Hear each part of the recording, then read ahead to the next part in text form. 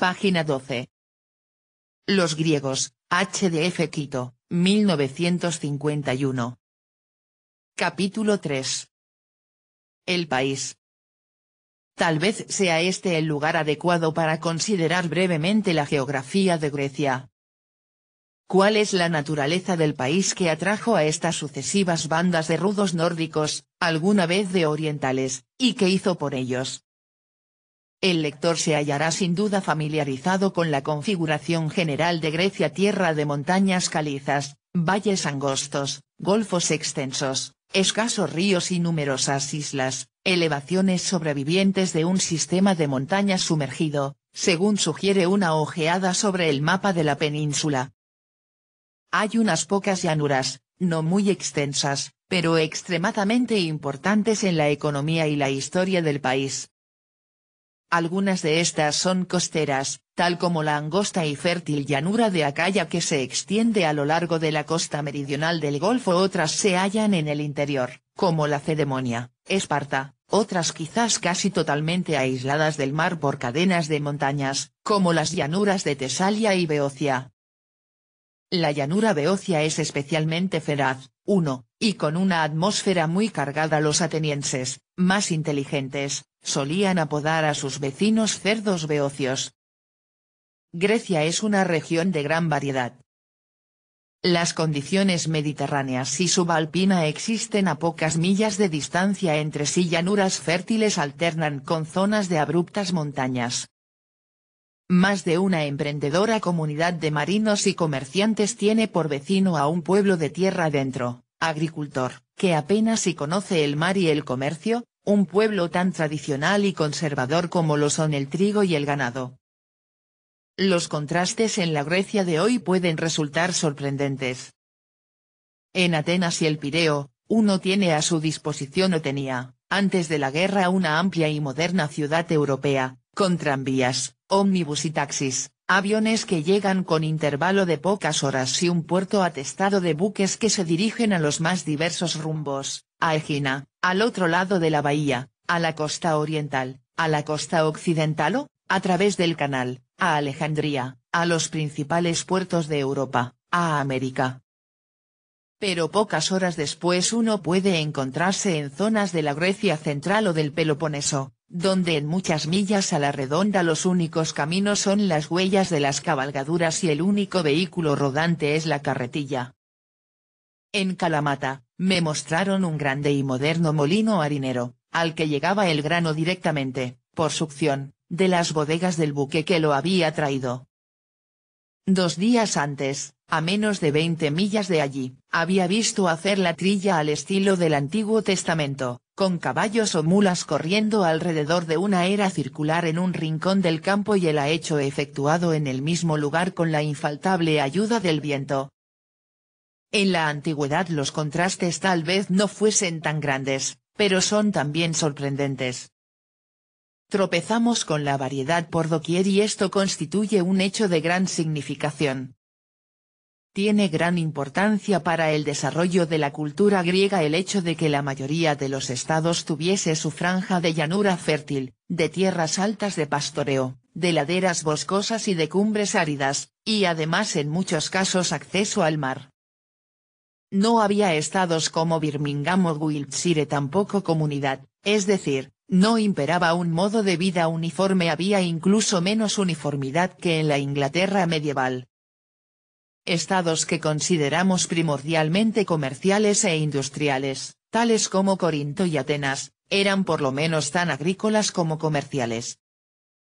El esplendor de la vida cívica ateniense en el siglo V nos hace olvidar fácilmente que la mayoría de los ciudadanos atenienses se dedicaba con preferencia a la granja, de las primeras comedias de Aristófanes surge con evidencia que Atenas conservó mucho de ciudad campesina y Tucídides subraya que los que poseían tierra en Ática vivieron en ella hasta que la guerra del Peloponeso los impulsó a la ciudad por razones de protección.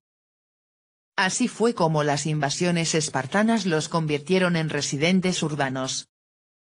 Si esto es cierto para los atenienses, lo es mucho más para los otros estados.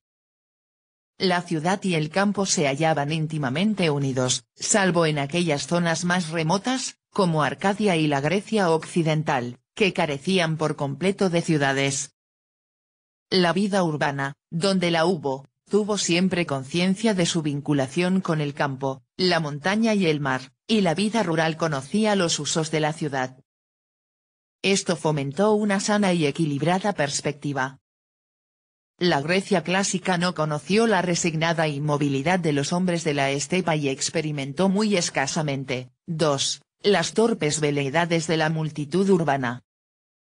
Con tal variedad de suelo y clima, el estado griego normal se bastaba a sí mismo, y podía disfrutar una equilibrada vida social. Los griegos tenían una palabra para designar esta autosuficiencia, autarquía o autarquía, 14, que hemos aprendido a utilizar en estos últimos años, pero en un contexto más deprimente para el griego, como luego veremos, ella era una parte esencial de la idea del Estado y las condiciones físicas de su país lo capacitaban para hacerla efectiva. Había otra importante consecuencia de la constante variedad que se da en este pequeño mundo griego. Aunque la mayoría de los estados pudiesen bastarse a sí mismos, gracias a las variantes de altitud muchos tenían sus productos especiales, por ejemplo, la aceituna del Ática, el mármol de Melos, el vino de la islita de Pepareto. Esto fomentaba un activo comercio y un intercambio incesante.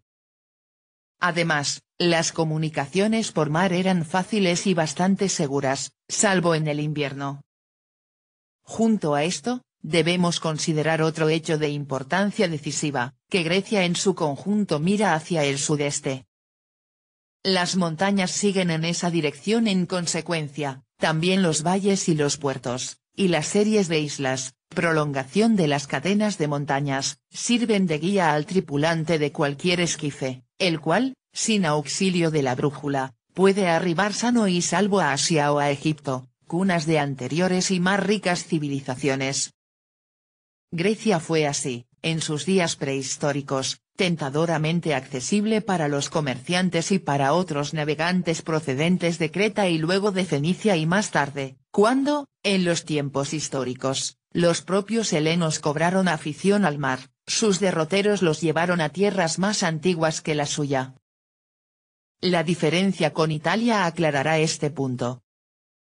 Los Apeninos se yerguen cerca de la costa oriental por consiguiente, los ríos y valles corren hacia el oeste, y las llanuras fértiles y los puertos se hallan en la costa occidental.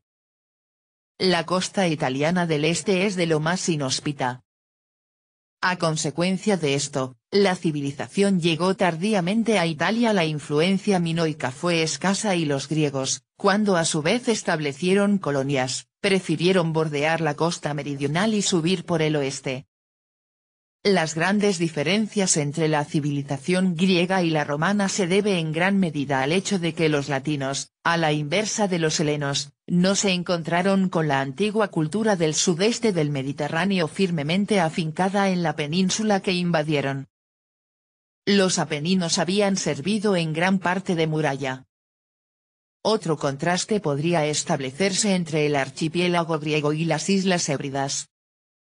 Las diferencias existentes entre ambos en cuanto a clima y fertilidad son bastante evidentes, pero hay otra circunstancia, que los productos de una de las Islas Hébridas son los mismos que los de la otra y también que los del continente.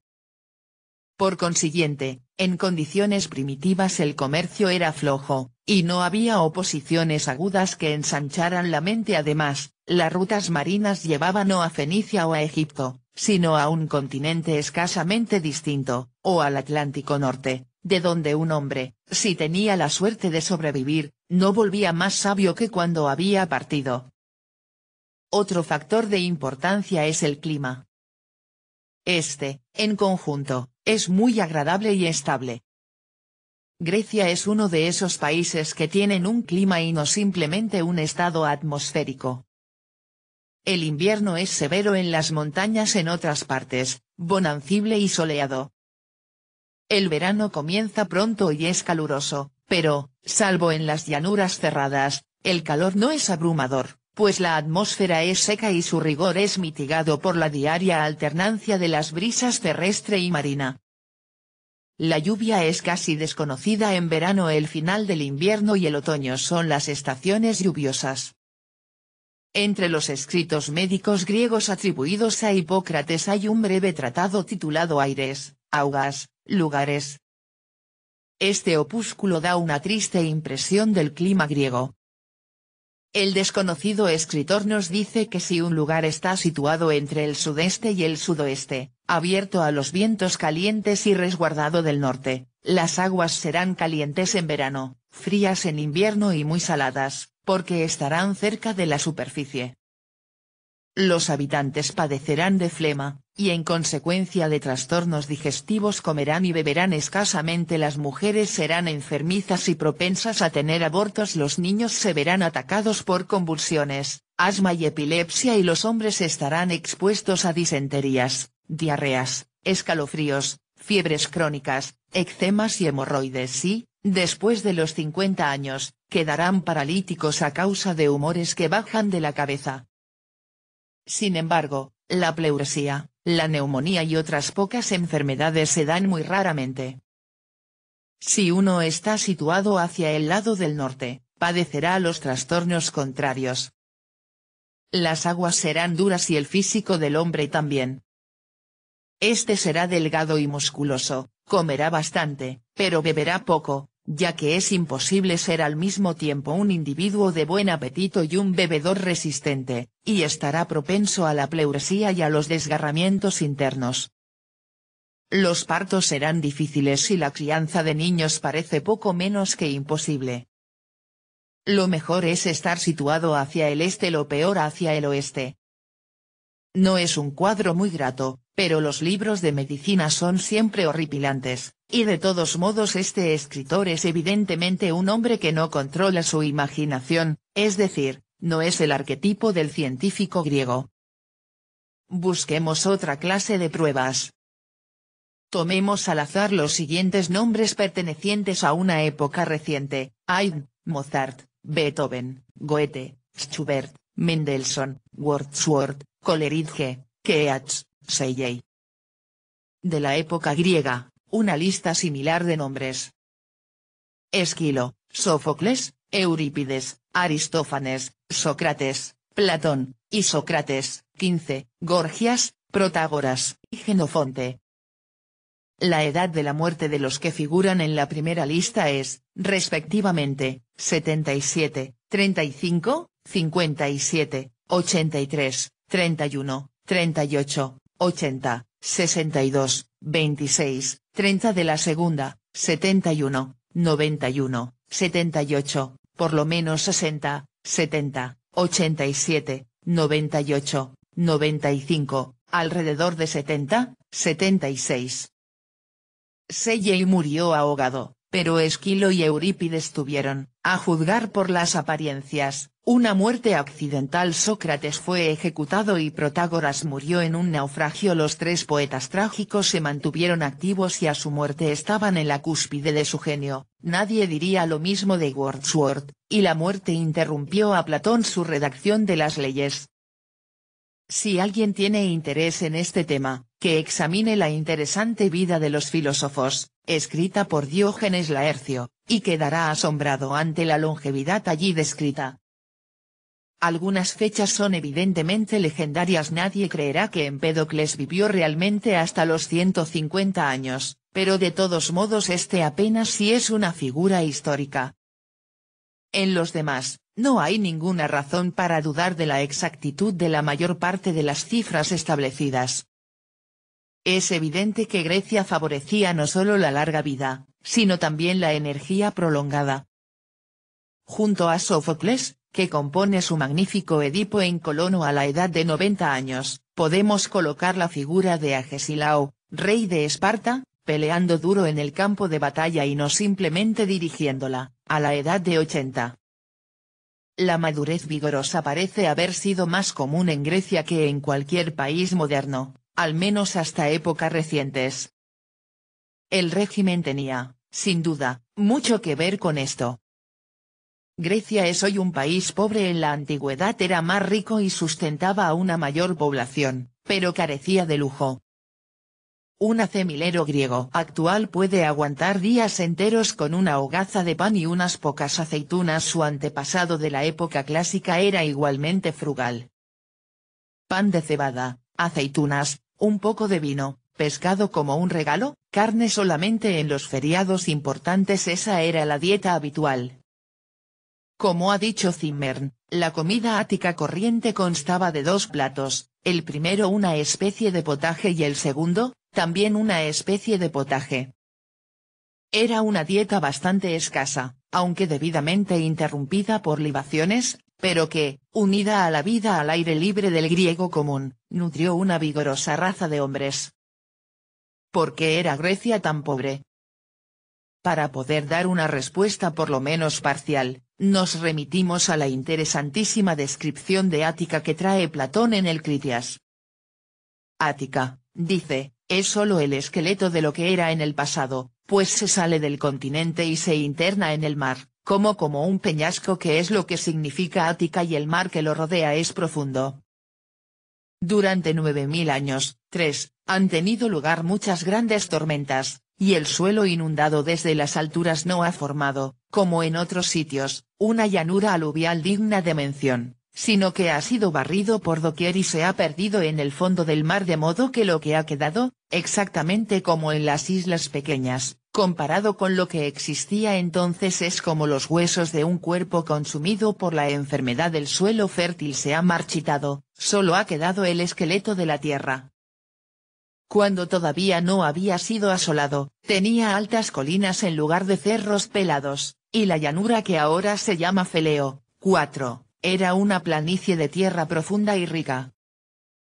Y había grandes bosques en las montañas, cuyos restos aún pueden verse hay montañas que hoy no tienen más que abejas, pero no hace mucho que en ellas se cortaba madera para techar los mayores edificios, y estas maderas para techos todavía están buenas. Además, había abundancia de elevados árboles y las montañas proporcionaban campos de pastoreo a los innumerables rebaños. De aquí la manifiesta diferencia entre la dieta del griego homérico y la del griego clásico en Homero, los héroes se comen un buey cada 200 o 300 versos comer pescado es un rasgo de extrema miseria en los tiempos clásicos, el pescado era un lujo y la carne casi desconocida. Platón se refiere a las tormentas. El clima griego tenía también sus aspectos dramáticos, Zeus, el dios celestial, era irascible y Poseidón, el sacudidor de la tierra ya sea con olas o con terremotos, era un ser temible. Hesíodo, el segundo poeta antiguo que sobrevive, describe cómo Hércules derribó al gigante Cieno, y dice que cayó como cae un roble o un peñasco saliente cuando es herido por el rayo humeante de Zeus. Quien esto escribe ha visto algo de la furiosa obra de Zeus. Iba yo por un valle de Arcadia, cuya exuberancia ya resultaba opresora. De pronto llegué a un paraje, de unas cinco hectáreas de extensión, tan cubierto con cantos rodados grandes y pequeños, que no se distinguía el suelo. Parecía una costa escarpada. En el medio yacía una casa, medio sepultada entre escombros. Dos días antes allí existía una granja, pero había estallado una tormenta a unas millas del lugar sobre el monte Tourtobano y esas ruinas eran el resultado. Sin duda, dentro de dos años, volvería a levantarse una granja, pues el esforzado y trabajador campesino griego sabe cuál es el único remedio contra Zeus. El propio Hesíodo no tiene gran amor por el clima de su suelo natal, y como hasta ahora hemos brindado al clima griego la más alta calificación, es justo que escuchemos a una autoridad tan distinguida del otro bando. Hesíodo no gusta del sofocante calor del verano y odia el invierno, el mes del Eneón, con sus días malos, que diezman el ganado, cuando las heladas cubren la tierra al soplo del Bóreas, este agita el vasto mar de Tracia, y, 16, entonces rugen la tierra y la selva, derriba en las gargantas de la montaña las encinas de hojas altas y los pinos túpido, los que caen pesadamente, y a su impulso retiembla la tierra toda. Se espantan las bestias feroces y hasta aquellas que tienen pelaje espeso recogen la cola entre las piernas pero el frío les atraviesa su dura piel y les oprime con rigor. Penetra el cuero del buey, y aún la piel de la cabra velluda, pero no la de las ovejas a causa de su abundante lana. Y el viento encorva al anciano. Hesíodo odia a cuatro de los ocho vientos. Los demás son de la raza de los dioses y representan una gran bendición para los mortales. Pero aquellos son vientos inútiles, soliviantan el mar, y precipitándose sobre el oscuro abismo, terrible azote de los hombres, forman tempestades violentas, y soplan acá y allá, dispersan las naves y extravían a los marineros pues no hay remedio para la ruina de aquellos a quienes sorprende en el mar. Y sobre la superficie de la tierra inmensa y florida, destruyen los hermosos trabajos de los hombres, llenándolos de polvo y horrible confusión. 5. Pero Hesiodo era granjero y beocio, de Ascra, un lugar penoso cerca de Helicón malo en invierno, pesado en verano, nunca bueno, mas su nombre no debe escribir esto de su tierra, aunque su padre haya llegado hasta allí desde Asia Menor y le haya referido, sin duda, innumerables veces cuánto mejor se estaba en esta última. Un ateniense, podemos estar seguros, le habría dicho que se lo tenía bien merecido por vivir en Beocia. En Atenas, se celebraba el primer festival dramático del año al aire libre en febrero para entonces ya había terminado la estación lluviosa, si bien aún no había comenzado el tiempo de la navegación. Por eso era un festival doméstico, sencillo en comparación con la espléndida celebración dionisíaca que la ciudad realizaba a principios de abril, cuando solían acudir visitantes de todas las ciudades de Grecia. Evidentemente, Atenas tenía mejor clima que el descrito por Hesiodo pero ya hemos dicho que Grecia es sobre todo una tierra de contrastes. No debemos abandonar este punto referente al clima griego, sin considerar sus efectos sobre la vida griega y en especial sobre la vida ateniense. En primer término, esa forma de existencia capacitaba al griego para reducir al mínimo sus complicaciones, en Grecia se puede llevar una vida activa con mucho menos alimento que el que se necesita en los climas más rigurosos pero, además, el griego el hombre griego podía pasarse y se pasaba la mayor parte de sus horas de ocio fuera de su casa. Esto significa que tenía más tiempo libre no necesitaba trabajar para comprar sillones y carbón. Después de todo, la razón por que nosotros los ingleses hemos inventado le confort anglais reside en que solo podemos sentirnos cómodos y tibios dentro de las casas. El ocio que disfrutaban los atenienses suele atribuirse popularmente a la existencia de la esclavitud. La esclavitud tenía algo que ver con ello, 6, pero no tanto como el hecho de que los griegos pudieran prescindir de las tres cuartas partes de las cosas cuya obtención nos quita el tiempo.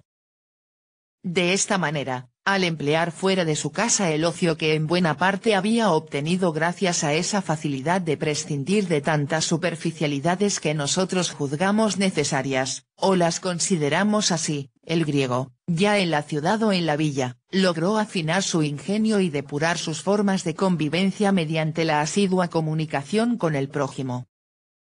Pocos pueblos han sido tan plenamente sociables, la conversación era para el griego el aliento vital y lo es todavía, si bien menoscabado por la persistente inclinación a la lectura de los periódicos.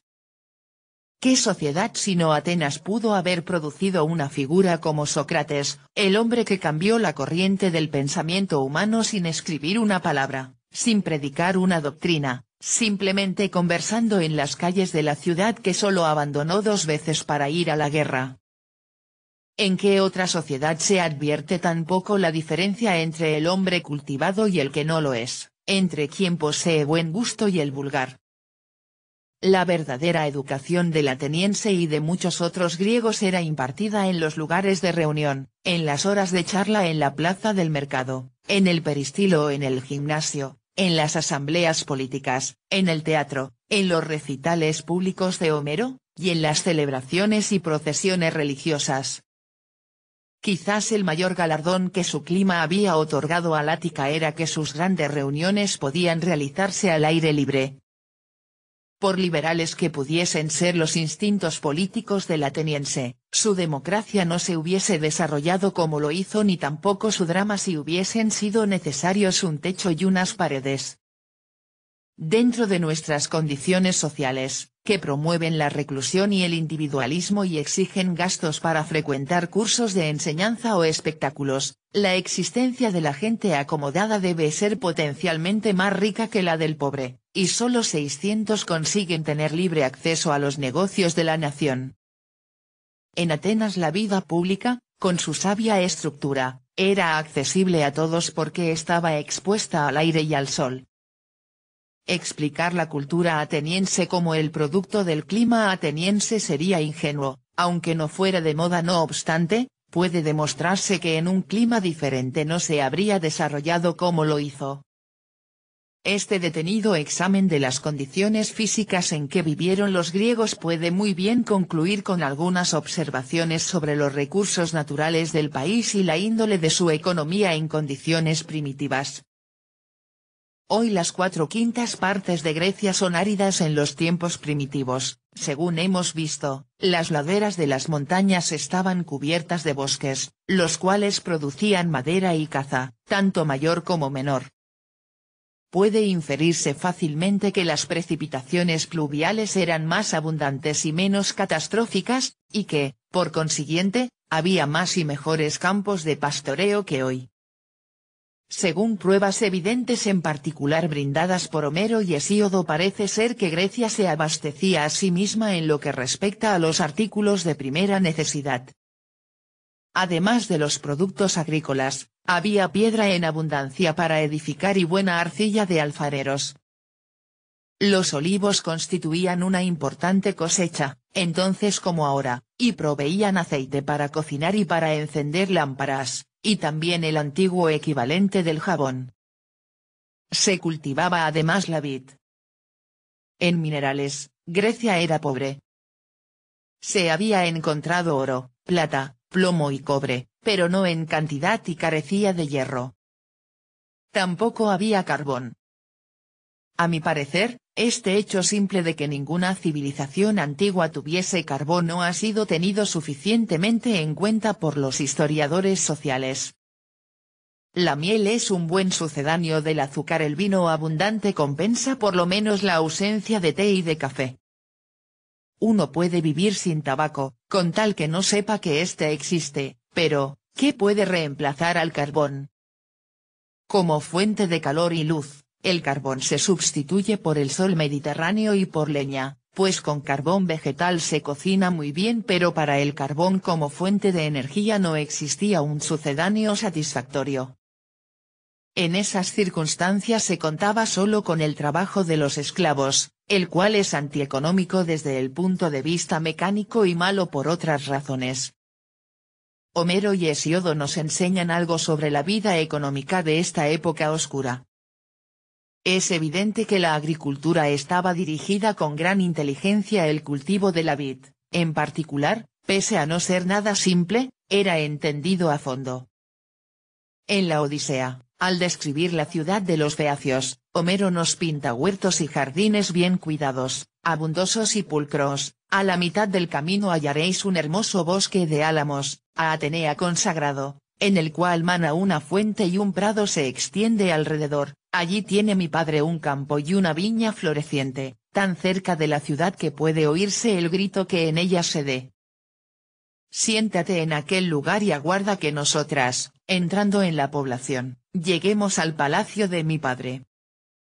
Y tan pronto como nos creas llegadas, entra en la ciudad de los feacios, y busca la morada de mi progenitor, el magnánimo Alcino, Fácil te será reconocerla y hasta un niño podría guiarte, porque ninguna otra se parece a la suya.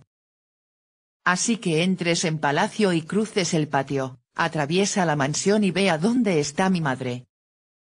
En su estancia, junto al fuego, hilando purpúrea lana, admirable a la vista, la hallarás. Sobre una columna estará apoyada y rodeada de esclavas. A par suyo aparece el trono de mi padre, donde él se sienta para beber vino, semejante a un inmortal. 7. Así es como la princesa Nausicaa instruye al náufrago Odiseo. Cuando éste llega al palacio, he aquí lo que ve, en el exterior del patio, cabe las puertas, hay un gran jardín de cuatro yugadas, y alrededor de él se extiende un seto por entrambos lados. Allí han crecido grandes y florecientes árboles, perales, manzanos, granados de espléndidas pomas, dulces higueras y verdes olivos. Los frutos de estos árboles no se pierden ni faltan, ni en invierno ni en verano son perennes y el céfiro, soplando constantemente, a un tiempo mismo produce unos y madura otros. La pera envejece sobre la pera, y la manzana sobre la manzana, la uvea sobre la uvea y el higo sobre el higo. Allí han plantado una vid muy fructífera y parte de sus uvas se secan al sol en un lugar abrigado y llano, a otras las vendimian, a otras las pisan, y están delante las verdes, que dejan caer la flor, y las que empiezan a negrear. Allí, en el fondo del huerto, crecen liños de legumbres de toda clase, siempre lozanos. Hay en él dos fuentes, una corre por todo el huerto la otra va hacia la excelsa morada y sale debajo del umbral, a donde acuden por agua los ciudadanos. 8. La tierra de los feacios tiene algunos rasgos de paisaje de cuento de hadas pero, por mucho que Homero haya retocado su cuadro, este representa algo que ha visto, en el último canto de la Odisea, encontramos otro viñedo y esta vez sin magia. Después de matar a sus rivales, Odiseo sale a buscar a su anciano padre, que en su desesperación ha abandonado la ciudad, y bajando al grande huerto, no halló a Dolio, ni a ninguno de los esclavos, ni a los hijos de él, pues todos habían salido a coger espinos para hacer el seto del huerto, y el anciano Dolio los guiaba. Por esta razón halló en el bien cultivado huerto a su padre solo, aporcando una planta. Vestía Laertes una túnica sucia, remendada y miserable llevaba atadas a las piernas unas polainas de baqueta cosida para reparo contra los 18 rasguños y en las manos guantes por causa de las tarzas y cubría su angustiada cabeza con un gorro de piel de cabra. 9. En la Odisea todo es grande y observamos la vida de los reyes en sus dominios, aunque el rey de Ítaca es más bien un señor feudal. Utiliza trabajadores libres y esclavos, pero no tiene a menos trabajar él mismo en la tierra.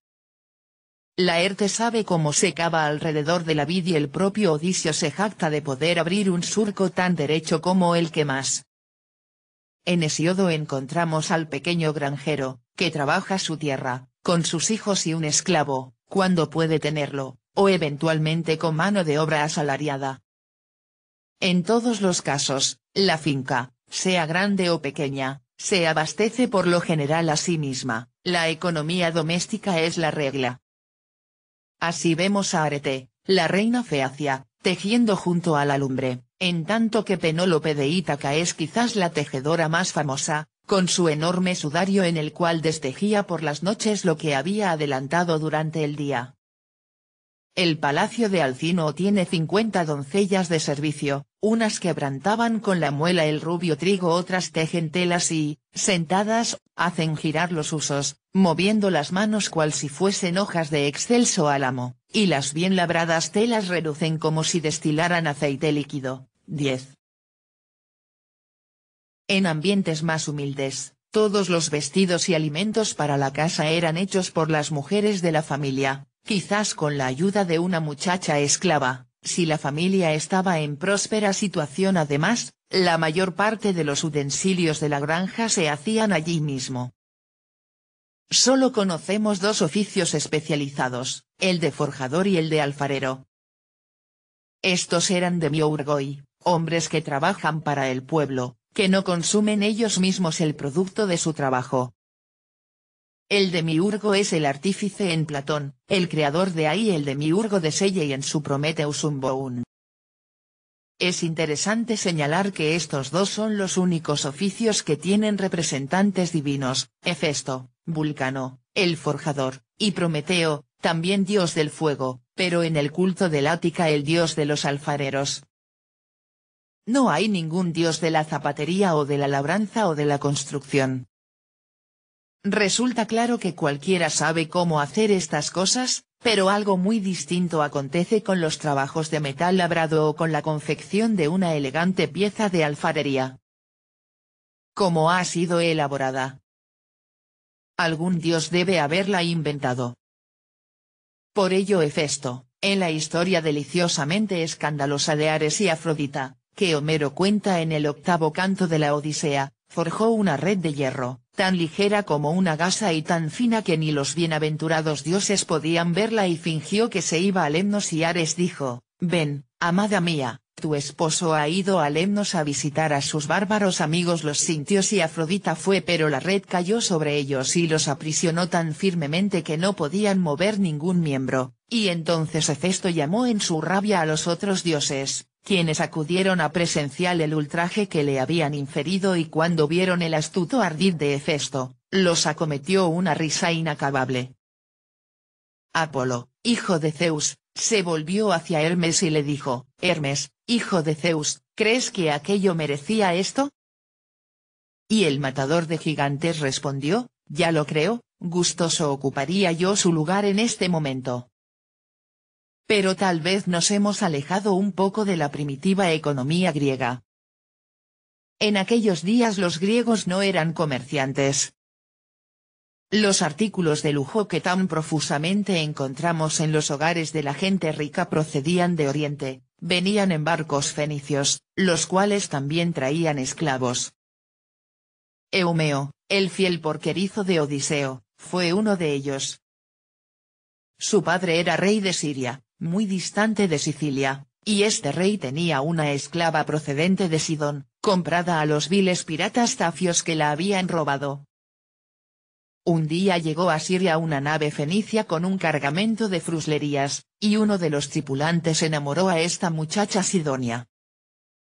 Oyó su historia y le insinuó que se volviera con ellos, pues él sabía que sus padres vivían y eran gente pudiente. La muchacha, por supuesto, accedió y completó el plan de fuga con una sugestión, ella podría llevar consigo al hijo del rey, un niñito muy despierto que tenía a cargo suyo y él ganaría una bonita cantidad. El fenicio estuvo plenamente de acuerdo. Durante un año entero el barco se demoró en Siria, mientras vendían sus galas y cargaban otras mercancías, ganado, pieles, metales en bruto y vino eran los artículos de exportación más corrientes. Cuando ya estaban listos para zarpar, el perverso fenicio vino a la morada real con un collar de ámbar para vender, y en tanto la reina y las otras mujeres lo examinaban y discutían su precio, la esclava Sidonia se escabullía por oscuras callejuelas con el niño. Cuando el hecho se supo, ya estaban en alta mar, la Sidonia pagó su culpa, pues se cayó a la bodega, fue rescatada muerta y luego arrojada al agua. El barco se dirigió hacia Ítaca y allí el niño fue vendido al padre de Odiseo, Laertes, y criado por este y Anticleia casi como si fuese su propio hijo. Una vez crecido, le dieron una túnica y un hermoso manto y lo hicieron mayordomo de la granja. Este fue un aspecto del comercio del Mediterráneo, no solo en aquella edad oscura, sino en cualquier otra época en que no haya habido un gobierno lo bastante fuerte para vigilar las costas y controlar los mares. El comercio internacional estaba, pues, en manos fenicias, y en ciertas regiones del Mediterráneo siguió siendo una prerrogativa fenicia hasta fines del siglo III a. C. Cartago era una colonia fenicia de aquí el nombre de, 19, guerras púnicas y los cartagineses se las compusieron para mantener a los comerciantes griegos fuera del triángulo formado por el extremo occidental de Sicilia, el estrecho de Gibraltar y el extremo oriental de los Pirineos. Pero para volver al periodo primitivo los griegos ya se venían ocupando del tráfico costanero, Hesíodo da instrucciones, en los trabajos y los días, sobre las estaciones del año en que se puede comenzar a navegar, y en las que es necesario abstenerse, salvo que alguien sea demasiado necio o en extremos codicioso como para hacerse insensatamente a la mar, pues Hesíodo juzgaba una aberración congénita el navegar y el enriquecerse con el comercio. Hesíodo era un granjero, acostumbrado al ritmo regular y el pausado curso de la naturaleza. Poseía esa sólida riqueza que se extrae de la tierra y no esa otra amasada con el comercio, ocupación poco segura y amenazada por toda suerte de peligros. Mantente lejos del mar cruel, era el consejo de Hesíodo. Sin embargo, en la Odisea, poema anterior, según parece, encontramos la descripción de una ciudad, evidentemente griega, que es un puerto en regla, al llegar a la ciudad, rodeada de algo y torreado muro, y partida en dos por hermoso puerto de estrecha boca, donde los bajeles hallan seguro refugio, verás ante él un magnífico templo erigido a Poseidón junto al ágora, cuyo pavimento es de piedras de acarreo profundamente hundidas. Allí están los aparejos de las negras naves, las gúmenas y los cables, las antenas, los aguzados remos, porque los arcos y el carcaj no los usan los feacios, sino los mástiles y los remos y los bien proporcionados navíos, sobre los que surcan gozosos la espumosa mar. 11. No cabe duda de que Homero ha visto esta ciudad griega pero podemos inferir que no había muchas así, pues en tal caso no valía la pena describirla tan minuciosamente, ni tampoco el arte de navegar al menos como lo practicaban los feacios gozaría de tan mágico prestigio. Así, mientras en un pasaje leemos que ellos se confían a los barcos que los llevan a través del alborotado mar, pues Poseidón los ha hecho un pueblo navegante y sus barcos son tan veloces como un pájaro o como el pensamiento. En otro su rey dice, pues nuestras naves no llevan pilotos, ni timones como los demás bajeles, y no por ello ignoran los deseos de los hombres ellas conocen las ciudades y los fértiles campos de todos los países, cruzan velocísimas el profundo mar, cubierto de bruma o nubes, sin temor a ningún tropiezo ni pérdida, Homero era un griego jónico. Será demasiado prosaico suponer que una determinada ciudad jónica, más osada que las otras, las sobrepujó en el arte de la construcción de navíos, de la náutica y de la navegación y que las otras quedaron deslumbradas. La Odisea está llena de referencias sobre la vida de mar, y la gran época de la colonización griega se acerca ya pero todavía falta que llegue Hesíodo, el curtido granjero, con su calendario laboral del año y su consejo, ve a la mar, si debes hacerlo, pero solo entre mediados de junio y septiembre, y aún así serás un insensato, para recordarnos que hay más de una clase de griegos y que cualquier generalización sobre ellos es peligrosa. Página 18.